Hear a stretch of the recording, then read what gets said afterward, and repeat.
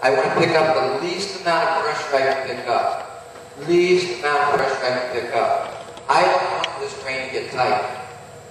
Because once it gets tight, it's just like that young lady. You'll start to pull back against it. Is that right? So I'm going to direct him where I want to go. I always want to lead here. Lead here. And once I get that start, I'm going to let it go.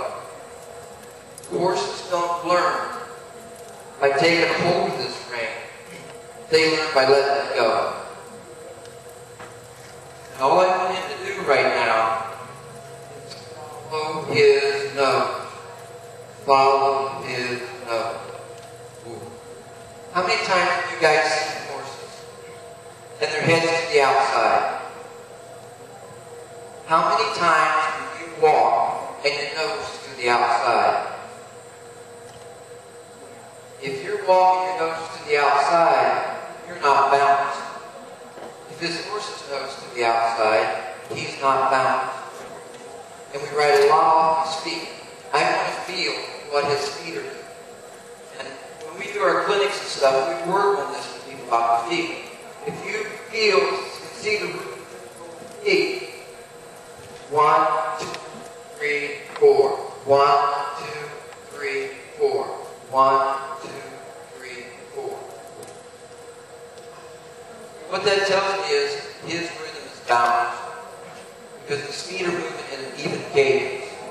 But if I start walking him again, and I let his nose come out here, one, two, three, four. One, two, three, four. See a difference in his feet? This colt is no longer balanced. See, he doesn't like this because I've never let him.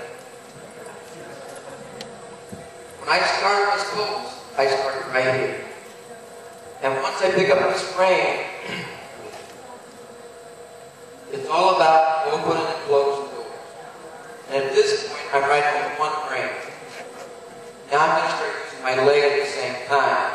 And I want this focal point where his body turns into a C. And basically all we're doing is basic dressage. And I want you to think about this for a second. In dressage, there are three names for your inside rein.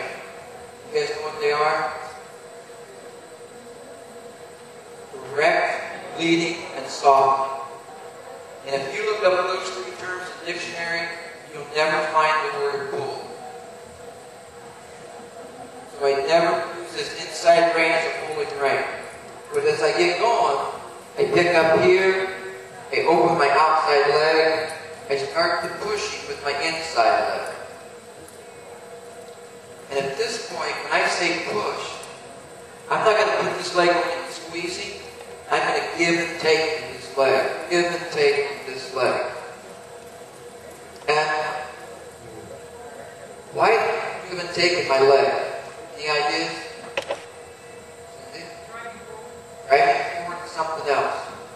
If you think about any time, wait.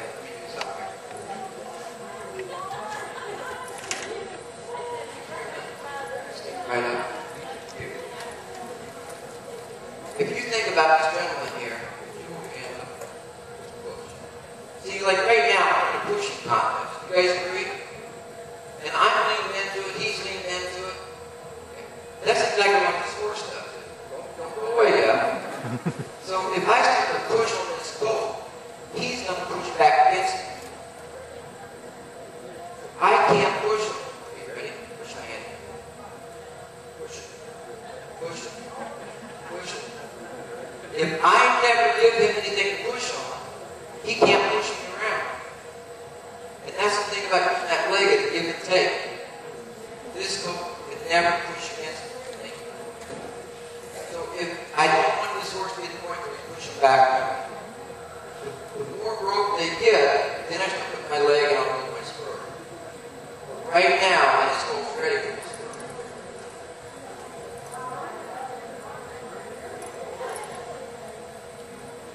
At this point,